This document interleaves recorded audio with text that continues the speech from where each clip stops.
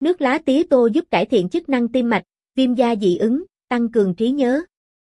Theo y học, tía tô có vị cay nồng, tính ấm, có tác dụng tiêu lạnh, thúc đẩy lưu thông khí, loại bỏ đờm, bổ phổi, làm dịu cơn hen suyễn, ngăn ngừa sảy thai thai, giải độc cá và cua, chữa rắn cắn. Sau đó, các nghiên cứu hiện đại cho thấy lá tía tô chứa nhiều dầu dễ bay hơi, axit amin, sắt, canxi, phosphor, vitamin A, vitamin C hạt tía tô có chứa axit linoleic, vitamin B.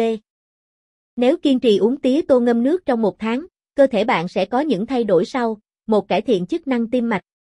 Axit alpha-linoleic trong tía tô có thể làm giảm đáng kể hàm lượng chất béo trung tính cao trong máu, ức chế sự tổng hợp cholesterol nội sinh và hỗ trợ hạ lipid máu. Dầu tía tô có thể ức chế sự giải phóng tiểu cầu và serotonin, chống huyết khối. 2. Trí nhớ và thị lực được cải thiện. Axit alpha-linolic của dầu tía tô, chủ yếu tồn tại trong cơ thể dưới dạng axit docosahexaen, DHA, là một trong những thành phần cơ bản nhất của hệ thần kinh não. Vì vậy, tiêu thụ tía tô thường xuyên có tác dụng tốt trong việc cải thiện trí nhớ và thị lực. 3. Cải thiện viêm da dị ứng, viêm phế quản, khó tiêu, thiếu máu, cảm lạnh. Tía tô có tác dụng làm giảm các phản ứng dị ứng như viêm da dị ứng và sốt cỏ khô, một dạng viêm mũi dị ứng. Bệnh nhân mắc các bệnh về phế quản có thể thuyên giảm tình trạng bệnh.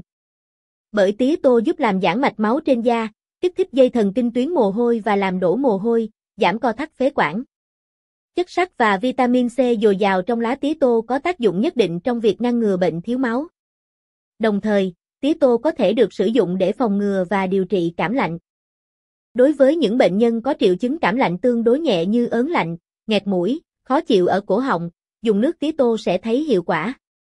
Tía tô cũng rất thích hợp cho các bệnh nhiễm trùng đường tiêu hóa. 4. Cơ thể tràn đầy năng lượng hơn. Thường xuyên uống nước tía tô giúp đào thải độc tố, khiến cơ thể tràn đầy năng lượng. Đồng thời, tía tô có thể thúc đẩy quá trình tiết enzyme tiêu hóa, tăng cảm giác thèm ăn và điều chỉnh chức năng đường tiêu hóa. Những điều lưu ý khi uống nước lá tía tô. Một phụ nữ có thai, đang cho con bú, người có thể chất yếu, mắc các bệnh đặc biệt nên tham khảo ý kiến của bác sĩ trước khi uống. 2. Lá tía tô ngâm nước không nên uống quá lâu, vì sẽ dễ dẫn đến thất thoát khí trong cơ thể. 3. Mặc dù nước tía tô có nhiều lợi ích, không nên uống quá liều. Chỉ nên uống 1 đến 2 cốc mỗi ngày. 4. Lá tía tô tươi có thể bảo quản trong tủ lạnh, còn lá tía tô khô nên để nơi khô ráo, thoáng mát. Cách nấu nước tía tô Rửa sạch khoảng 200g lá tía tô tươi, giữ nguyên cành và lá, cắt khúc nhỏ. Đổ 2,5 lít nước cùng lá tía tô sau khi rửa sạch vào nồi đun sôi, để nhỏ lửa trong 2 đến 3 phút rồi tắt bếp. Lọc lấy nước tía tô để sử dụng.